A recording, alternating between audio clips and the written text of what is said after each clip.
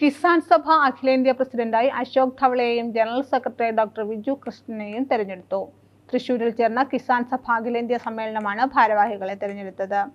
P. Krishnaprasad ആണ് finance secretary. കേരളത്തിൽ നിന്ന് സെൻട്രൽ കൗൺസിലിലേക്ക് ഒൻപത് പേരെ തെരഞ്ഞെടുത്തു. E. P. Jayarajan M. Vijayakumar K. N. Balagopal K. K. Ragesh Valsan Panooli N. Prakashan Gopi Kottamurikkal Omallur Sankaran M. Swaraj എന്നിവരെയാണ് central കൗൺസിലിലേക്ക് തെരഞ്ഞെടുത്തിരിക്കുന്നത്. You talk Thrissur.